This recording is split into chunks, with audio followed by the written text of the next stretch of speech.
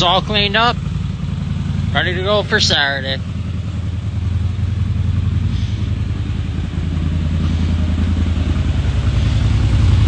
Try out these new tires. The Carnivore Maxxis